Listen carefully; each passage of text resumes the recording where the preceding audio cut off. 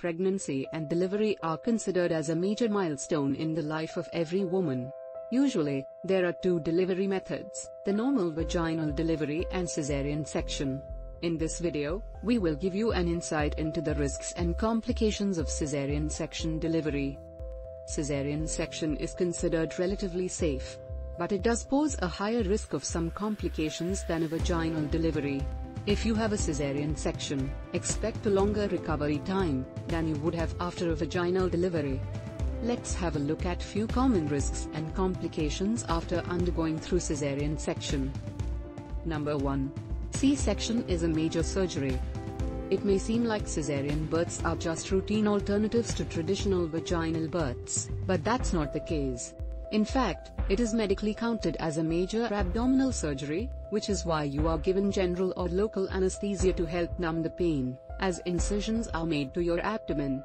The incision is usually 10 to 20 centimeters long, and is horizontal just below your bikini line. Number 2. C-section may cause breathing issue on the baby. During C-section, because of the speed with which the baby is born, without being squeezed through the narrow birth canal, breathing issues may occur right after birth. Babies born from a C-section usually require a little more help with their breathing just after delivery than babies born through the traditional vaginal route. Number 3. Recovery time is longer for C-section.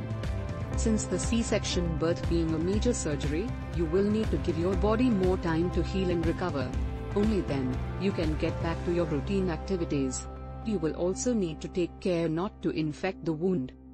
After the birth, usually for first 3 to 4 days, you may need to stay in the hospital under observation, and with quick access to emergency care. Number 4. C-sections may cause complications in future pregnancies. If you already have undergone a C-section previously, it could increase the risk of having certain complications in future pregnancies. These include complications like a uterine rupture, placenta previa, where your placenta covers your cervix, and abnormal placental attachment. Number 5.